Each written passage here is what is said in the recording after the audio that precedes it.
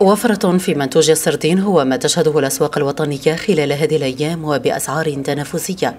فموانئ الصيد البحري تعرف إنزالا معتبرا لهذه المادة حيث يتزامن وفرة منتوج السردين مع دخول موسم صيده الذي يمتد من شهر ماي إلى نهاية أكتوبر من كل سنة.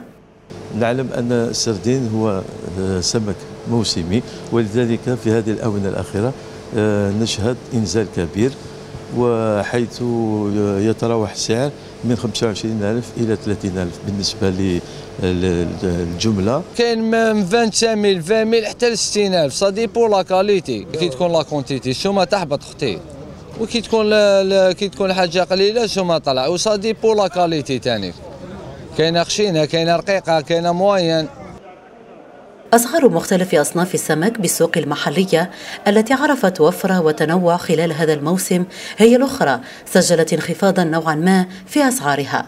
بيضة moyenne كيما البيضة moyenne هكذا هذه دير 60000 هذه دير 80000 خشينا عليها شوية دير 100000 تلحق حتى ل 120000 الخشينة كايك تلحق 140 تسمى كي كانت غالية هكذا.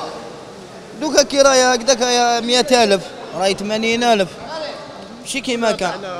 الميرلون لحق حتى ل 250 الميرلون أو يدير دوك 180 تاع الجزائر ماشي تاع الأرباش ولا؟ تاع الجزائر. الحوت كاع كل نهار والحوت واحد آخر ناقص.